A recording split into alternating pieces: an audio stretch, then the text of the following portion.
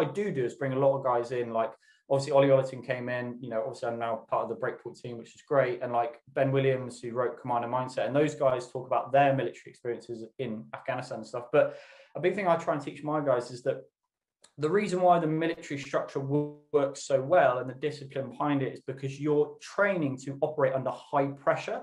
Now, high pressure isn't necessarily getting shot at. High pressure in normal life is like, I've got a lot of lads who run really big companies, like really big companies. They're under a lot of fucking pressure. I've got a lot of guys who've got three kids they're under a, probably a lot more pressure. Oh, like, tell me about it. I've, yeah, I've just had a second. I know exactly what that feels. You know, and, and, and, when you've got all this stuff going on, and and also at the same time you're trying to take care of yourself and your own health and fitness.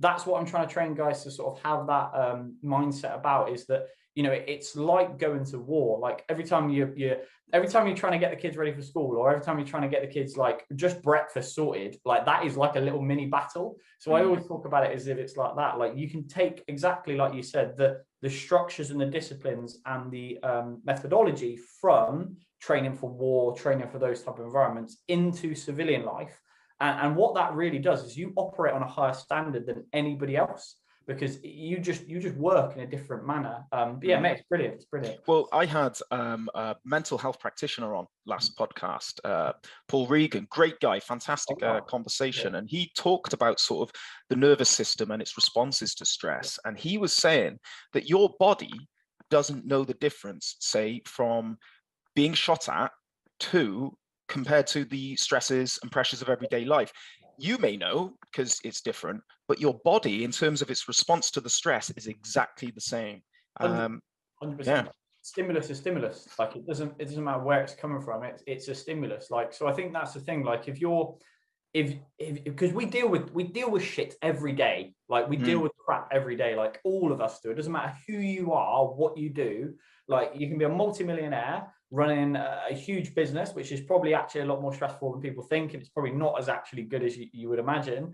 Or you can be like, um, you know, anyone else. You can be a normal person. You can be anyone else, like right, and and you're always going to deal with all this stuff. And what's a great, you know, a big thing that a lot of guys don't really think about and don't really realize is when there is no outlet for that stress, you are just storing it. So a lot of my guys, like, what does happen, and like you you mentioned, is that like when they're not training in any sort of capacity at all and they're not having any physical endorphin release or they're not really you know getting sort of a positive energy out there they're just storing stress and stress and stress and stress. And then no wonder you, like you say six months 12 months you know a period down the line they end up something going really really wrong because it does it does cause that effect to it. Um mm. yeah it's massive isn't it? It's massive I've just realised there's an alarm going off in the background. Can you hear that, Terry? no. If not, don't worry. I can't hear it. It's all good. No worries. was it, it your car alarm? No, it's um Google. So like my uh, Becca sets like alarms on Google. Um, it's to remind you about this podcast, is it? Yeah, probably. Probably. I don't know. It might. Did you want to turn it off? So Did you want uh, two seconds to right, right. Uh, I got a uh, point here because we were talking about purpose and responsibility, and that, uh, it reminded me of something. And I think it came from it, again Jordan Peterson. I listen to a lot of his stuff. Very, very good guy. If you don't, if listeners aren't aware of him, go and listen to his stuff. Um, but one question, and he talks about is people ask, uh, why do you do drugs? Right? Why do you do? And there is a point. I again, I'm going with. Why do you do drugs? And he says that's not the question you should be asking. The question is, why don't you do drugs?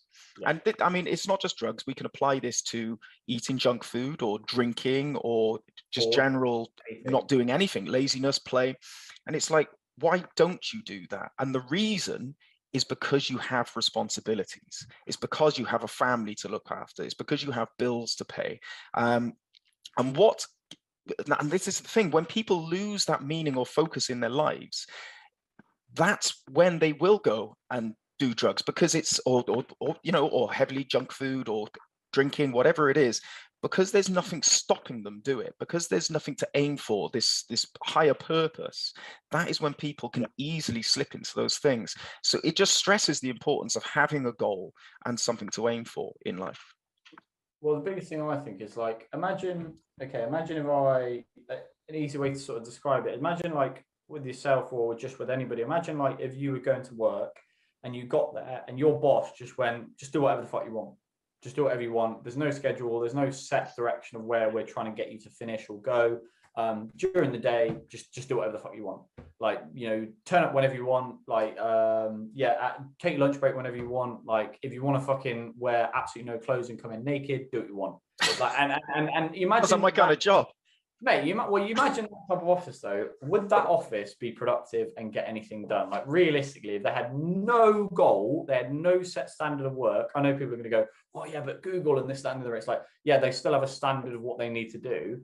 Like, would anything actually get done if they had no purpose? And it's like the mm. realistic the reality is it might, but a not in a focused capacity and and actually not in a manner that would work, and b it might not be productive. So that does happen when a lot of guys, like you say, they don't have responsibilities, they don't have an actual structure to follow or necessarily any accountability to have to do that. It can then be, like you say, a, a purpose of like just do anything. So therefore, that is what they do.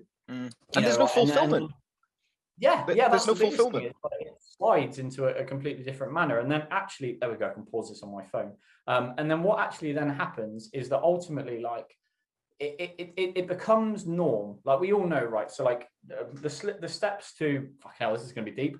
The steps to becoming a drug addict aren't done with like right. You're a perfectly working normal man, um, and then next minute you're on heroin and you're on the street. Like it's not. It's not like it might be quite quick in the sense of like to get there, but it's not like oh it just went it's little chunks of things that happen. So it's little things that sort of like trickle away. And i'm not saying everybody's going to get to that point. Like just because you have a couple of beers every night doesn't mean you're going to get to that point. Like i don't i don't you know i'm not saying that. What i'm saying though is that it, it, it just becomes this sort of normality doesn't it? It sort of just trickles down. Mm. and that's kind of what i feel like happens with a lot of guys. Either way like it, it's either like they take the the little tiny steps where it ends up going wrong and it just becomes a custom over time. Or actually, what I say to a lot of my guys is like the opposite of that, like a resilient, positive, you know, mental health, um, you know, in, in, a good manner, like a positive mindset isn't built by one single individual act. It's built, like you said, over taking layers off that fear, taking layers off that limiting belief. Like Ant Middleton talks about it quite a lot in his podcast. Like taking layers off each individual thing will get you to that point but that has to be done over time like mm. a lot mm. of guys just like in the gym right people people get into the gym and they think i'm going to get fucking shredded overnight and like you know i'm going to have a six pack and this that and the other and it's like well realistically that's not how it's going to work you're not just going to go for a couple of weeks sort of semi you know go as like go 24 7 for seven weeks uh, sorry um a couple of weeks and that be it it's done over time it's like built into it it's accustomed into it and i think like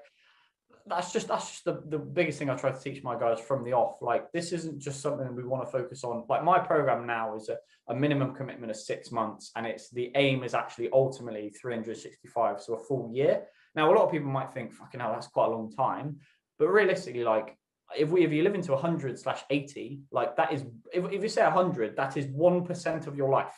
One mm. of your life, and potentially if you are going to live to 100 and it's 1% of your life at the middle of it or at the quarter of it, which majority of the lads are probably about there, I've got a couple of guys who are in their 60s, then actually if it changes the direction of the other 50%, then it's probably worth doing. But anyway, the, the long and short of that, what I'm trying to get at is that once you immerse yourself in that process and realize that it isn't just going to be a quick fix or it isn't done overnight, and it is actually something you have to gradually take layers off, that will be the direction towards positivity.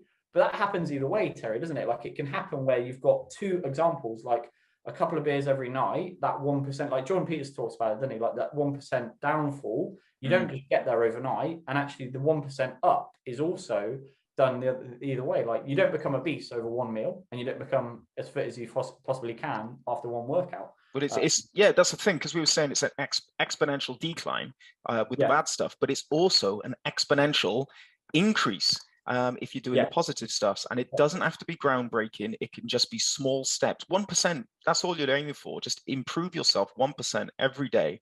And you'll be miles from where you started uh, at the end of it. What's happening, people? If you enjoyed that clip, then you can check out the full episode by clicking here. And don't forget to subscribe.